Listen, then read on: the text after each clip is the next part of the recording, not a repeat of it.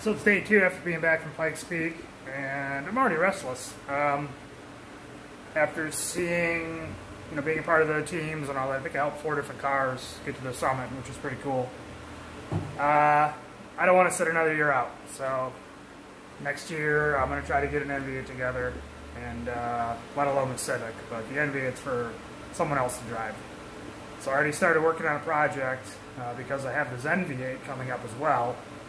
Uh, so kind of practicing and honing in and make sure I have all the materials in stock for all that. First up, control arms. These machine bearing cups are from Palatov, Palatov Motorsport.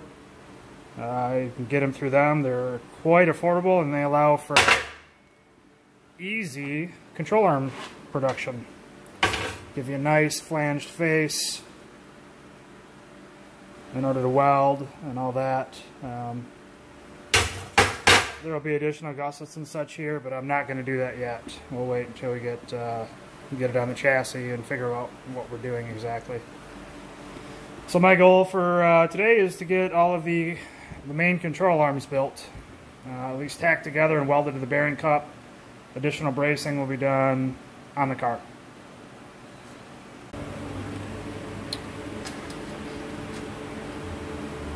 So I'm uh, cutting the rear control arm, measuring the rear control arms now. And right to the edge of that is 21 and a half, which I believe that's what this is. This is a random leftover from the last thing I cut. Oh, I love it. Sometimes things are just right in the universe.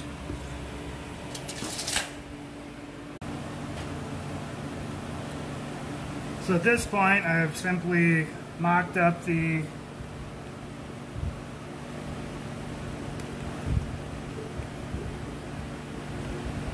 mocked up the tube into the rod end, which these are mock-up rod ends. Uh, they didn't have any in stock.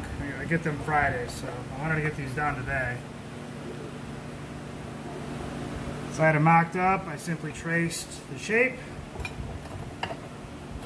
did a rough cut at an angle, and now I'm going to make it fit with the flapper wheel.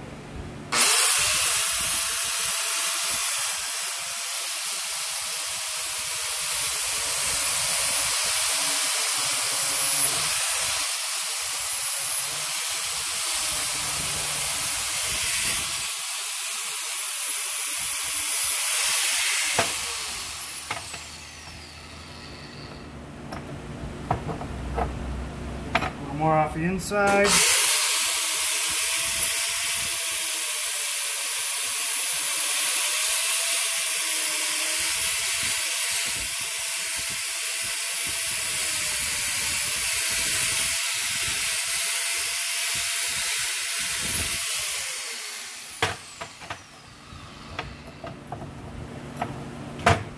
Oh, so close. The key with this is just do a little bit at a time because the second you take a big hog out of it, you're going to be a quarter inch gap.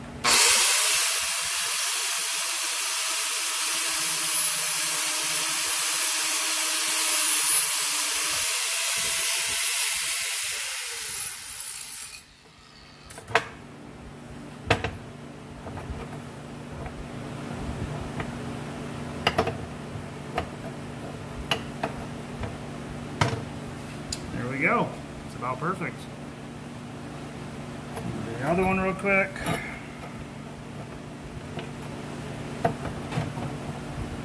And we'll just a little radius to match that.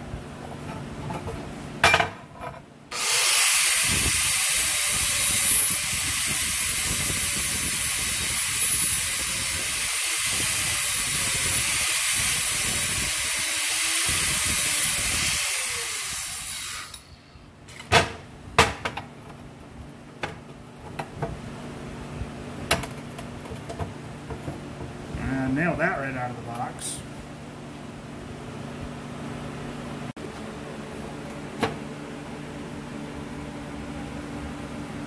Pretty much uh, perfect as far as gap.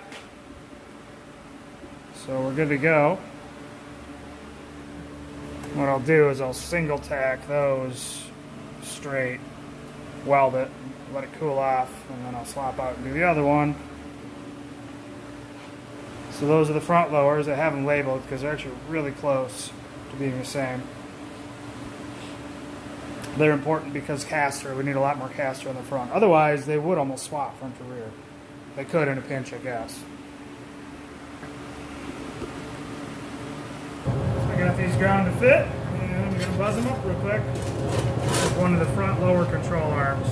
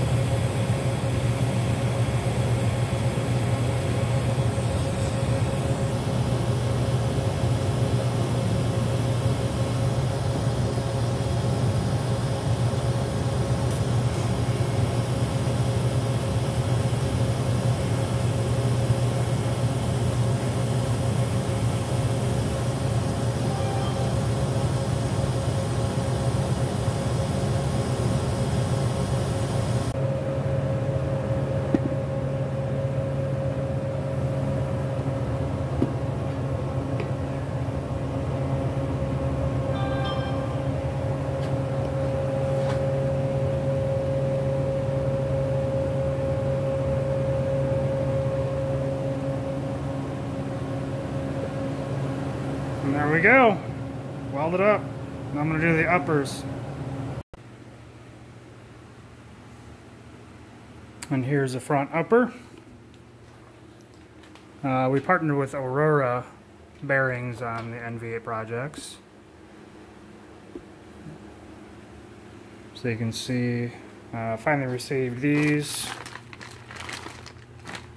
They're really nice from the chassis shop. Slip right in, you weld them. Done, simple. Also converted all those, welded these on.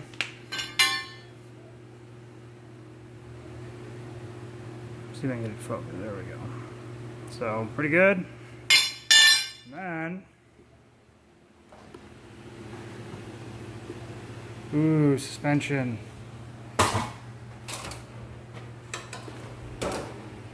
So, I made sure they fit. It's the first time that the car has been built from jigs and not the other way around. Uh, the first one I built by freehand and then built jigs from those. And here is what works uh, from the jigs. So it all works backwards and forwards in all ways. It's fantastic. So obviously don't have the toe links yet. But um, Palatov will get those over shortly. So it's pretty exciting.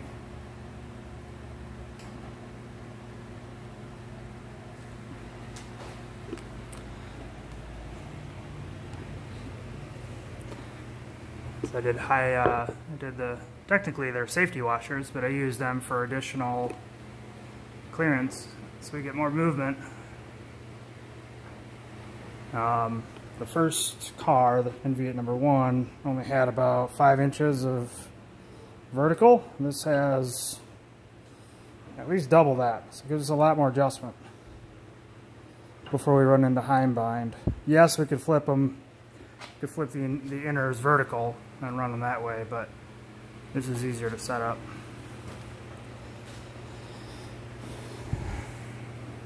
So the next episodes are going to be putting all this stuff together. Uh, mainly because we have to measure the width and then see the difference between the Zenviate width as far as body work, and then we have to work backwards because we're only allowed to go 350 millimeters wider total than the stock bodywork on the Zenviate, and I'm pretty sure uh, these the Enviate front is about 82 inches wide, which is about 7 inches too wide total. So we have to reverse engineer things, go backwards, more or less shorten the control arms by X amount, roughly three and a half inches, but we need to know exactly how much. We need to shorten them from the total assembled width of this. So that's why the push to get this going, so I can get going on this Enviate and pay some bills. So lots of uh, exciting videos coming up soon.